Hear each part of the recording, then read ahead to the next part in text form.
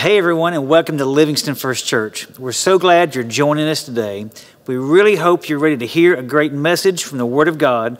So prepare your hearts, prepare your ears, and get ready to receive a blessing from the Lord. Be blessed. Lord, we love you. We love you. We just love you. Jesus, Jesus, we love you. Lord, we want to we want to know you. We want to know you, Jesus. We want to know you and we want to be intimate with you. We want to be transformed into your image, God. Jesus, we want our hearts to be on fire with you. Lord, would you consume us? Would you consume us again, God? Thank you for that time of worship, Jesus. Thank you for revealing things in us, God, and for moving things and transforming things in us, God. Lord, we thank you. We don't deserve that. It's your mercy and your kindness to do those things, God. So we, we thank you. And we ask, God, that you would continue to do so, that you would continue to, to minister to us through your word. We love you, Jesus. And we ask that our mind and our hearts would be receptive and open to what you're saying right now, God. Lord, we say it again. We love you, Jesus. It's in your name we pray. Amen. Amen. So uh, it's good to be with you guys again. I've been here, there, and everywhere. Uh, so happy to be home uh, for a good while. Uh, before I left the second time, uh, we had started a series on the process. Does everybody remember? Anybody remember? A couple people remember. That's good. I'm glad you have some recollection. We're talking about process. How many of you know that you're called of God? It should be everybody, unless you don't know the Lord, and we can work that out. But you're called of God. God has a calling for your life, and it's glorious, and it's good, and it's great. And you need to know that. It's not something small and insignificant. Your life is to reveal glory. Your life is to reveal glory on the earth. That means that the call that God has on your life is meant to reveal His glory. There's nothing insignificant about what God wants to do in your life. That should get you a little bit excited. There's nothing insignificant about what God wants to do in your life.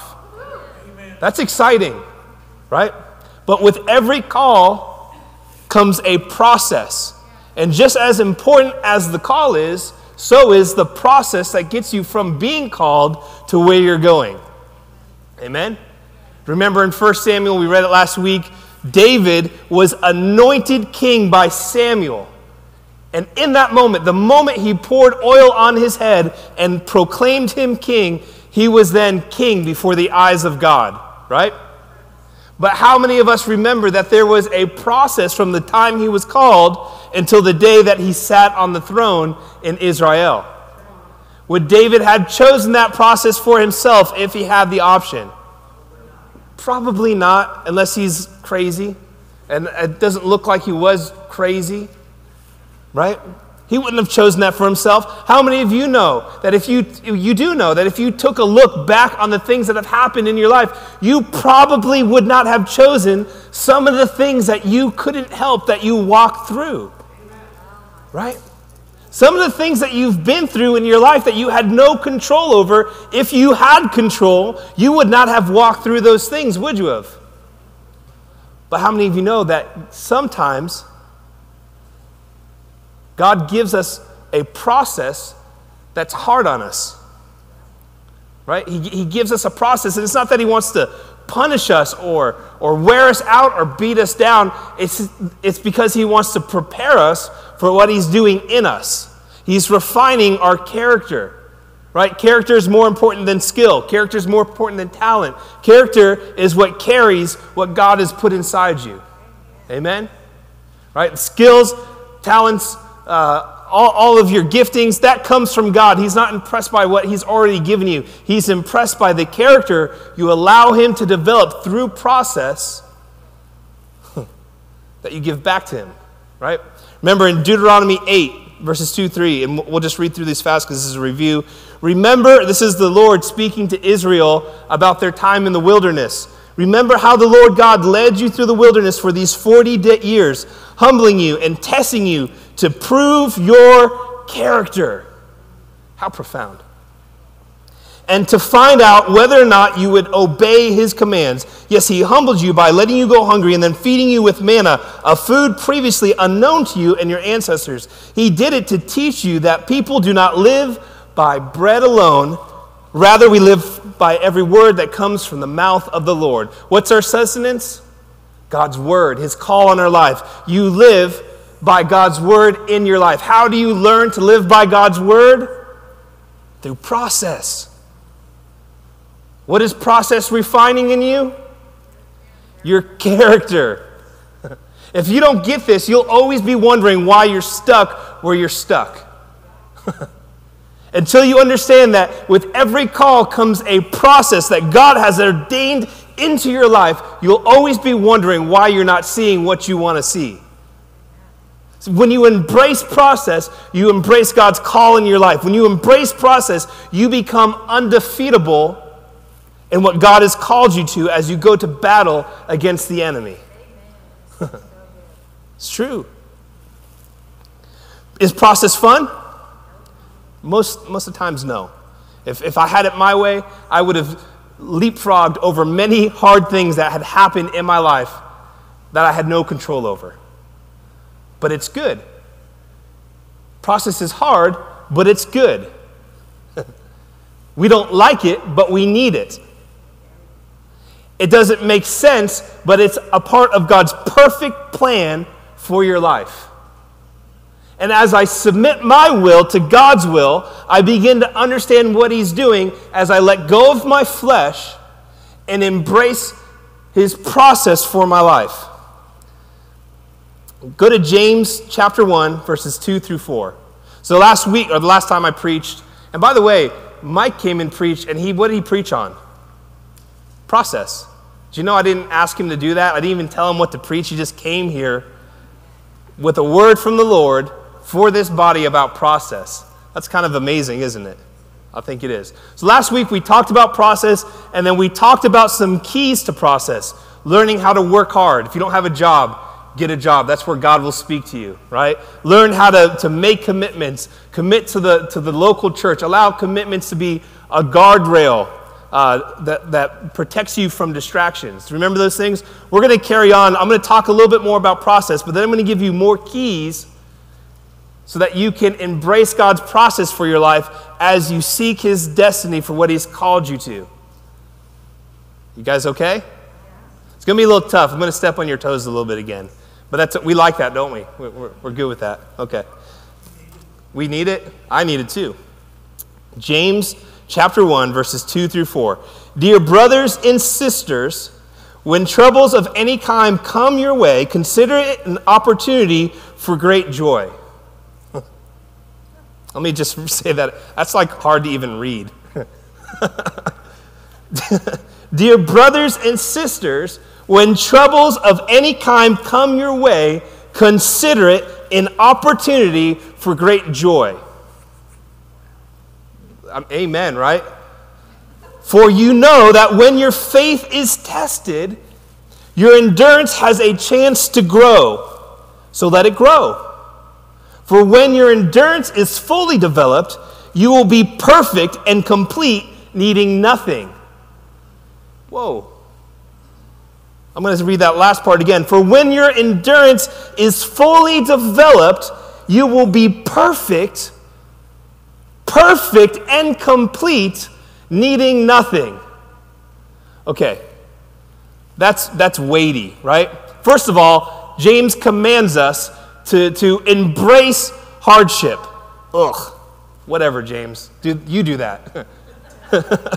he says, no, no, no. When you encounter hardships and trials, I want you to resist the urge to, to, uh, to assign complaining to what you're going through, to, to declaring that the enemy has come and won through complaining. And I want you to rejoice and take joy because you've been given an opportunity to grow in the Lord. Think about that. When trials come, God is opening a door of opportunity to you that you may grow in endurance because endurance will make you more like Jesus than anything else You'll do. Look, I'm, I'm for prayer. We have a prayer room. We, we are connected with prayer rooms. I'll get on my knees and pray all day long if I need to. But if I'm not willing to endure, I won't be able to pray. Right? I love fast. Well, I don't, uh, Lord help me, I don't love fasting. I hate fasting, but I'll fast. I'll fast so my, my brain's out. I'll, I'll pray in tongues until I can't pray in tongues anymore. But if I can't endure, then I can't really do those things. See, you need to get some grit in your life. You need to put your foot down and say, I'm not going to move until God does what He says He's going to do in my life. You need a resolve, and the resolve only comes by accepting the hardships you're walking through. See, a lot of the time we want to rebuke the problem, but God says, hey, you're missing out on my plan because you won't let me refine your character and build your endurance by going through what I've ordained for your life. See, this is important. You want to be more like Jesus? Build some endurance in your life. Get some resolve then go to war in prayer, then go to war fasting, then go to war praying in tongues and declaring and prophesy. First thing you need to do is decide no matter what I go through, I'm not giving up. Hmm. That's what you need. Because as you learn to grow in endurance, the Lord makes you more like Jesus. As your character is refined, and you begin to steward what He's called you to because now you are embracing the call in your life. Process is unnatural to our flesh. It never feels good. Let's just be honest. Hardships don't feel good.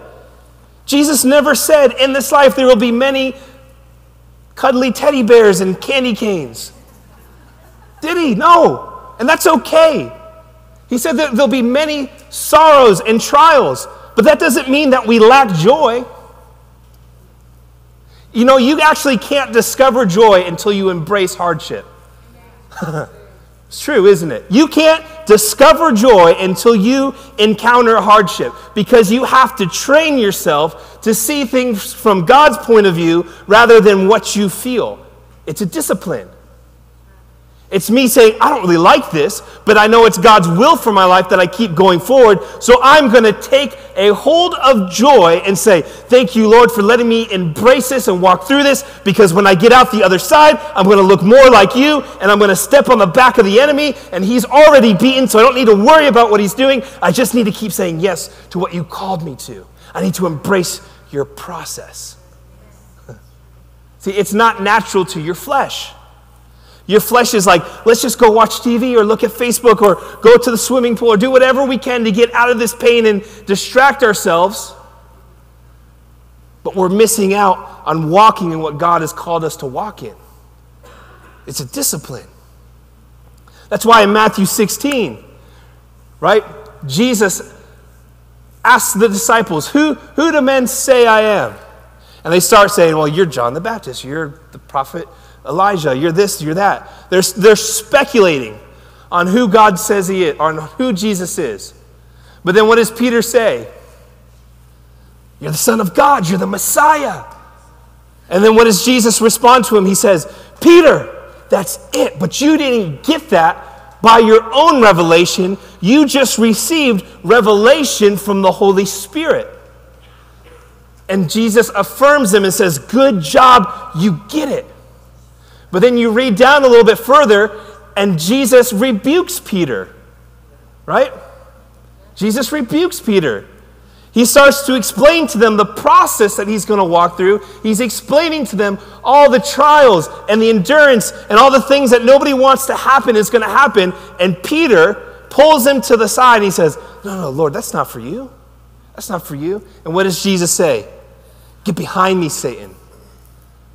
See, you need revelation to know the deity of Jesus. You need revelation to know who God is, but you also need revelation to embrace the process He's called you to in your life. See, you need discipline, but you also need a revelation from the Holy Spirit that this is what you're called to, and then another revelation to embrace it and endure it.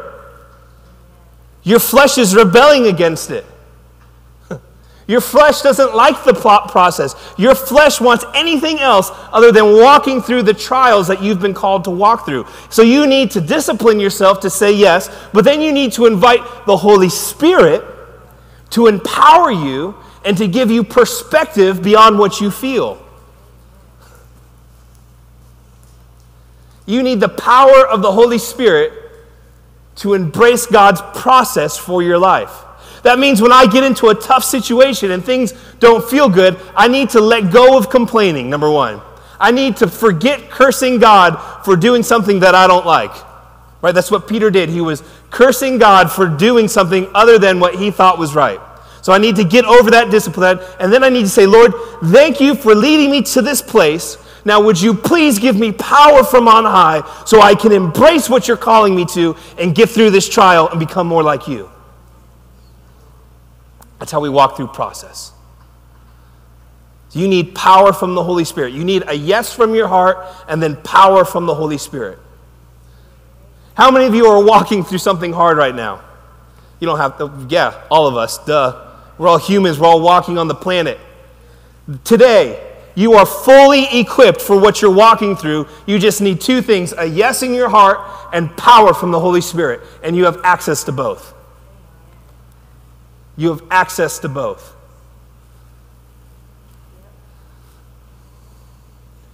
You can pray all you want, you can fast all you want, and those are good things, and those will shape and transform your spirit, man. But until you develop and, and discipline yourself to say yes to the process and to lean into the revelation of who Jesus is and what he's called you to, even though you may not like it, you'll always be stuck going in a circle. You'll always be trying to avoid the pain to find something comfortable, but missing what you were called to. Process is hard. Okay, so we talked about working hard. Get it.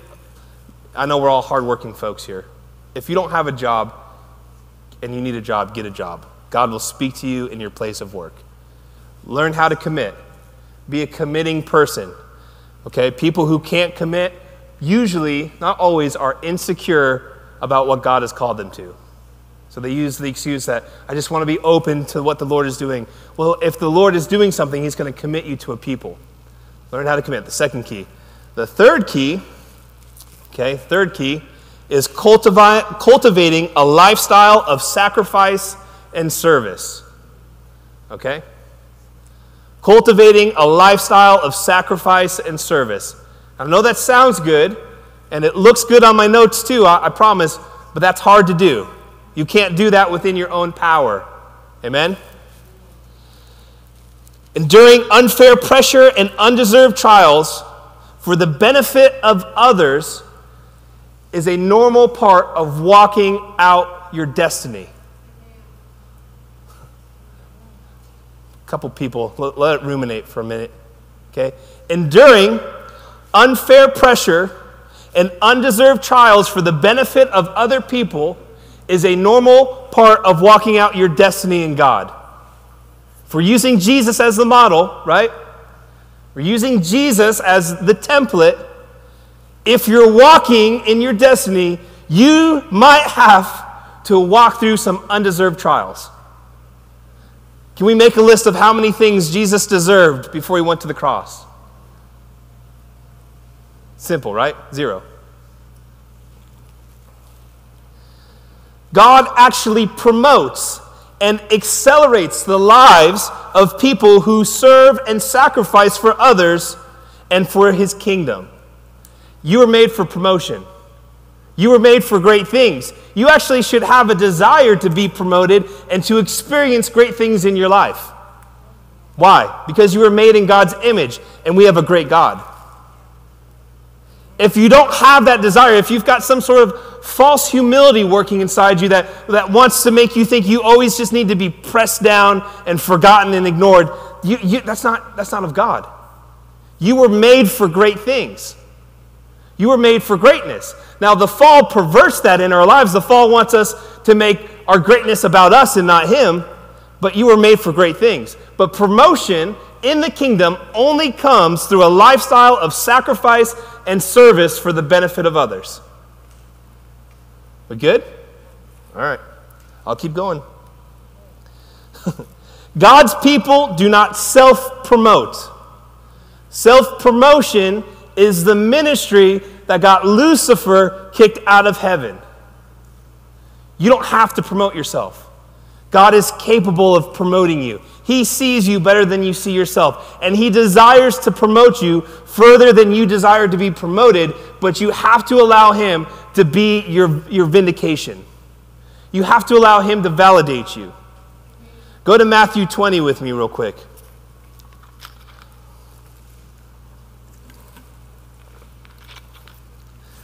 Plenty of time. I don't think the St. Peter's Peacocks played till four, so we're good. What's that? Tar Heels, yeah. What time do they play? Four o'clock. We're good. We got four hours, guys. Matthew 20, verse 20. There's a great image online of uh, Jesus crossing up the devil and the devil falling to the ground during a basketball game. And Jesus is labeled St. Peter's Peacocks, and the devil is labeled Tar Heels. Just kidding. Sorry. uh, Matthew 20, verse 20 through 28. Then the mother of James and John, the sons of Zebedee, came to Jesus with her sons. She knelt respectfully to ask a favor. What is your request? He asked. She replied, In your kingdom. Please let my two sons sit in the places of honor next to you, one on the right and one on the left. But Jesus answered by saying to them, You don't know what you're asking. Are you able to drink from the bitter cup of suffering I'm about to drink? Oh, yes, they replied, We're able. Jesus told them, You will indeed drink from my bitter cup, but I have no right to say who will sit on my right or on my left. The Father has prepared those places for the ones he has chosen. When the ten other disciples heard what James and John had asked, they were indignant. But Jesus called them together and said, You know that the rulers in this world lord it over their people, and officials flaunt their authority over those under them. But among you, it will be different. Whoever wants to be a leader among you must be a servant, and whoever wants to be first among you must become your slave. For even the Son of Man came not to be served, but to serve others and to give his life as a ransom for many. Amen. I really love this scripture. This is so beautiful because, first of all, it's a bad idea to let your mama ask your boss for a promotion. right? That's like step one. Don't let, don't let mama talk on your behalf. Like, you got to take care of your own business, son. Right? Number two, you can't live off the relationship that your parents have with Jesus. You need to walk out the process yourself right? You need to have your own relationship with God where He calls you to something and then He gives you a process that you wrestle with Him over as you walk into your destiny, right? Doesn't work when mama and dad do it for you. It never will, it never has. That's where the two sons of thunder are right now, though. They come up to Jesus and they're like, Mama, come on, ask him, ask him. And she's like, Fine, fine, shh, be quiet. She goes up there. she says, Hey, Jesus.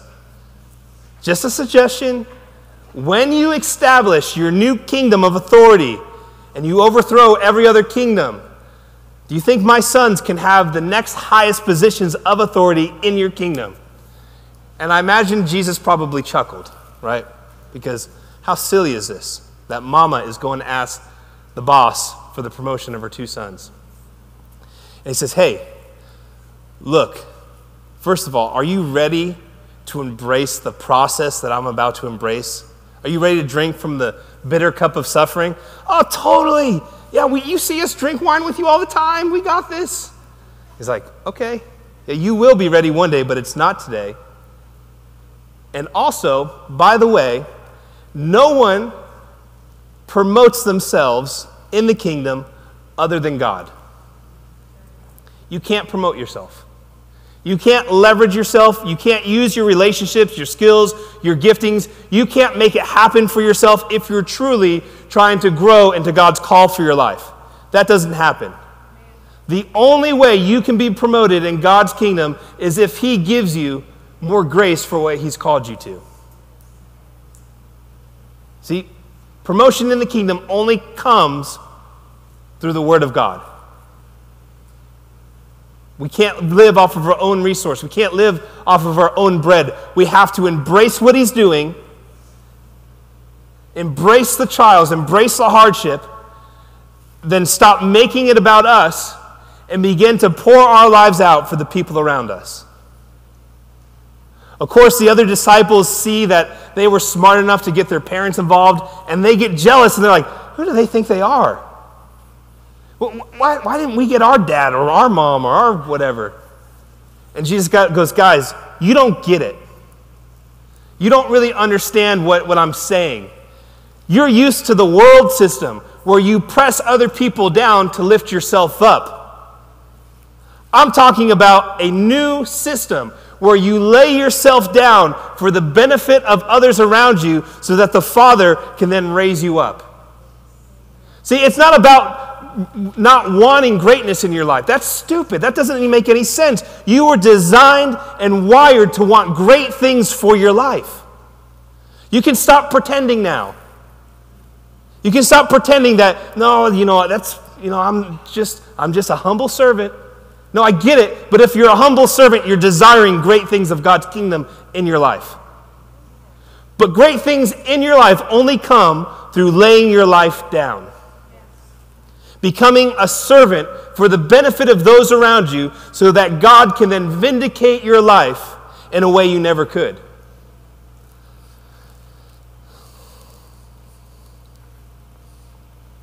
You need to ask yourself on a regular basis. This needs to be a question that you ask yourself. You can ask this in life group if you want. Am I living in a way that betters the lives of the people around me in the community that I've been called to? Read that one again.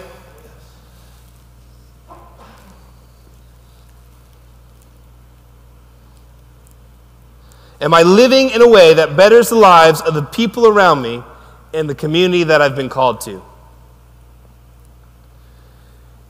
You need to discipline yourself to do the work nobody else wants to do. How many of you know if you only serve doing things that you like to serve in, you're not really serving your community, you're serving yourself? what do we say in church when we don't want to do something somebody's asked us to do? I don't feel called to do that. I don't feel called to do children's ministry or clean or any of those things I don't like to do. I, I, this is not me. Everyone feels this way. Nobody asked you if you were called. We were just telling you what's needed. you guys okay? Did I step on your toes? Oh, I felt that one. Nobody's worried about what you're called to. Serving is about filling the need. Right? If we're serving like Jesus, if we're serving like the world, then you do only things that make you look good and that promote your skill sets, and you just do what you're good at so you just look greater and greater and greater. But if you're serving like Jesus serves, if you're serving in a way that exemplifies the kingdom, you just fill the need, whether it makes you look good or not. I like to think about Thanksgiving dinner. Best holiday ever. Thank you, pilgrims. Thank you, Indians. Thank you, Jesus. Thanksgiving is the best. A day filled with gorging yourself and watching football and sleeping on a couch. Who could have thought of a better holiday? it's amazing. Right? And how do we serve at Thanksgiving? Everybody likes to make their favorite side dish, right? Aunt May brings the corn pudding. Uh, somebody else brings the stuffing. Somebody else does the meat. And everybody just does the thing that they feel makes them look the best. Just, that's just how it is, right? That's what we do. But then, after everybody's full of food and exhausted from eating, which is, it's like we exhaust ourselves from eating, that's amazing. What's left behind? A mess. And who, who wants to clean the dishes? You, one person in here. Nice. You're invited to every Thanksgiving dinner we ever have in our house, forever. Nobody wants to do the dishes. Everyone's like, I made the corn pudding, I made the turkey, I made the stuffing, I made the green bean casserole. Nobody wants to do, do to the dishes, But if nobody does the dishes, then Thanksgiving dinner is just a mess. It's the same in church. Everybody wants to serve in the things that make them look good and that they're used to doing and the things that they're comfortable doing. But if nobody does the hard work that nobody wants to do, you're left with a mess. See, serving is not about feeling good. Sorry, it's just the truth. If you're, if you're being empowered by the Holy Spirit, then you will see needs around you, things that just are not right, and then you just fill that need regardless of how it feels because you know you've been empowered and equipped to do what He's called you to do. Right? Can I get an amen? Is this a word of affirmation? okay, point number four, key number four to walking and embracing your process as you as you watch God fulfill the call in your life. This is the most important one, in my opinion, is you got to learn to love yourself. You got to learn to love yourself. It's easy to, to pretend to love other people, but you actually have to love yourself. You have to like who you are. You ever like lay in bed late at night and think of something really embarrassing and stupid that you did maybe like six months ago, just like pops in your head, and your whole body like convulses, like, oh, why did I do that? we're, we're good at being our own critics, aren't we? We're, we're good at finding flaws within ourselves because you know yourself the best. Nobody knows you like you know yourself. Despite all the things you know about yourself, despite all your flaws, despite all the things that you would change if you had the power to change them, despite how insecure you might feel about who you are, God still loves you. And He's fighting for you right now. And He's equipping you with His power, with His Spirit, with His kingdom. And He's giving you access to all of heaven, not because He loves you. That's important. Jesus does love you but He also likes you. You got to learn to like yourself. I know it sounds silly, but if you don't like yourself, you'll never love people around you. You'll be good at faking it, and you'll be able to like get your social cues down and be socially responsible and not be mean, angry Christian person. But if you don't like yourself, you'll never love people around you. That's why Jesus said the greatest commandments, or God said the greatest commandments, love the Lord your God, but then to love your neighbor as you love, because to the degree that you love yourself is to the degree that you can love people around you. And here's the thing is process is hard. And the enemy does a really good job of making you feel like you're getting what you deserve. You're not, I promise you. If we all got what we deserved, there would not be a person in here. We'd all be six feet underneath soil right now. And to some degree, you need to like clean up your messes from your past and you know walk through some things that you created in your own life. But if you got what you deserved, there'd be lightning bolts hitting every person in this place in this moment. You are not getting what you deserve. You are walking through a process that's refining your character so you can carry the call God has put onto your life. and He's not doing it because He's mad at you and needs to teach you a lesson. He's doing it because He cares about you and He loves you. And he doesn't want what he's called you to do to crush you because he wants you to do great things. He wants you to do exploits for his kingdom. He wants to do things through you that you never imagined for yourself because you don't like yourself the way the Father likes you. And the best way you can learn to like yourself is to fall in love with Jesus. Just fall in love. Just fall in love. Because once you fall in love, then you can begin to give him thanks for the things that he's doing. See, outside the context of love, process is evil. Right? Outside the, the parameters and the boundaries of love, hardships are evil. Why would a good father want you to walk through pain if there's not the boundary lines of love around what he's doing in your life? See, God likes you, God loves you. He loves you more than you like yourself. He likes you more than you like yourself. And He allows you to walk through things that don't make sense because they make sense to Him and they're good for your life.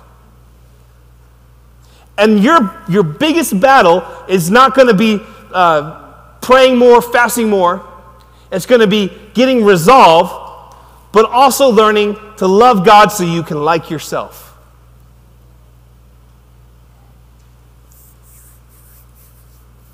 Actually, I think the Lord wants to do something today. I think He wants to break something off of us. I bet you, like me, can look back over your life and think of at least two dozen things that you would change if you had the power to change. Right?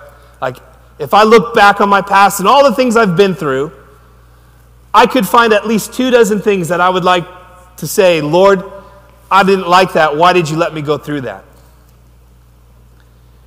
And the Lord says today, He says, I don't actually need you to understand. I, I, don't need you to understand, but you need to fall in love with me so you can begin to give thanks for what I've done and what I'm doing.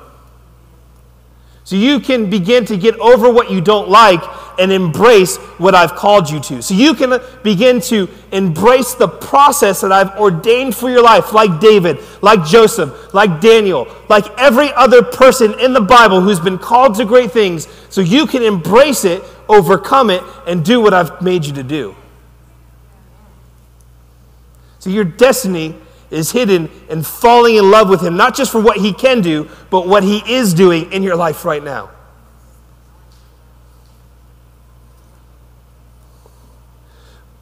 Why don't you, I don't know, bow your head or close your eyes or whatever you need to do. But I want to pray.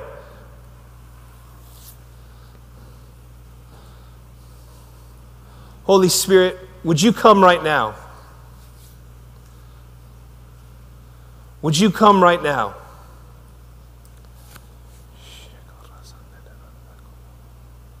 We're just going to wait on you, Lord. Would you come right now?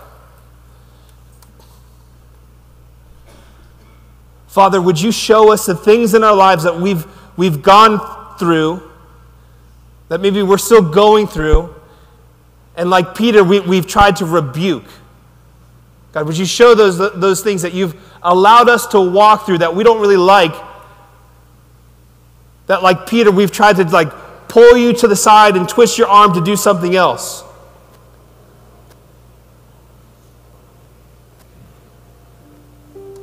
And then, like Peter again, Lord, after he betrayed you, after he, he wandered around wondering what his destiny was, Lord, you met him on the beach and you ate breakfast with him. You met him at the beginning of a new day and you said to him, Peter, do you love me?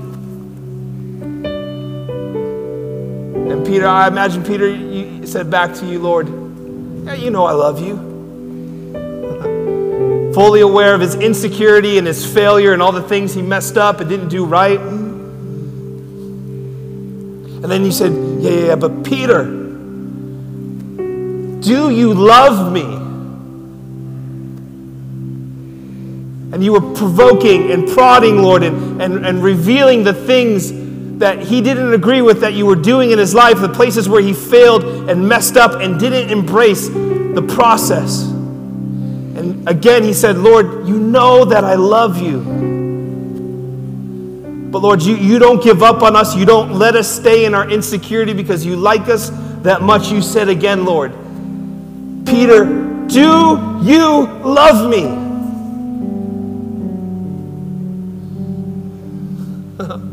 And Lord, just imagine at that point, Peter was on the floor, a mess. Lord, you know I love you.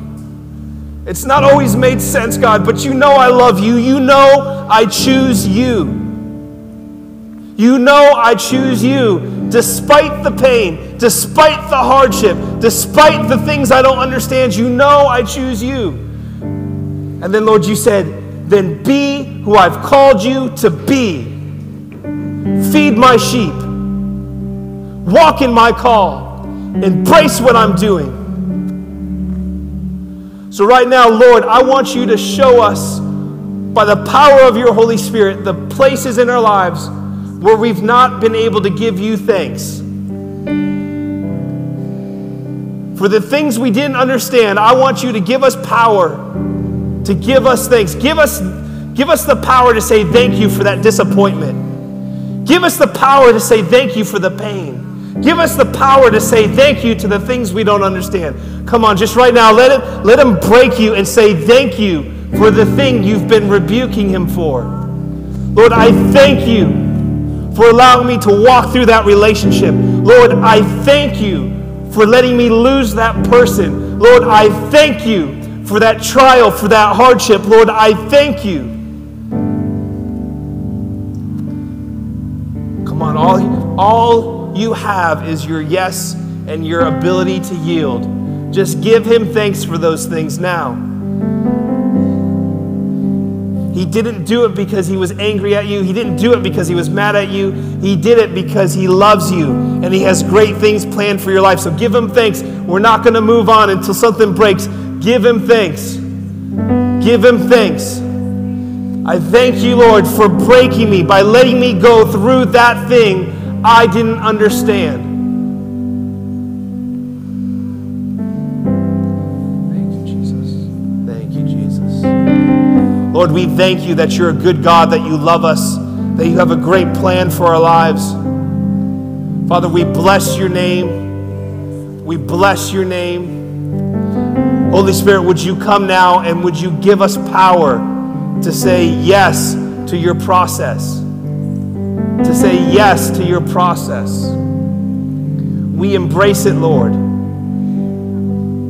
It's in Jesus' name we pray. Amen. Thanks so much for joining us today. It's our hope and prayer that the Holy Spirit truly ministered to you through this message from the Word of God. If you'd like to know more, look us up at livingstonfirstchurch.com or follow us on social media, and we look forward to seeing you in person soon.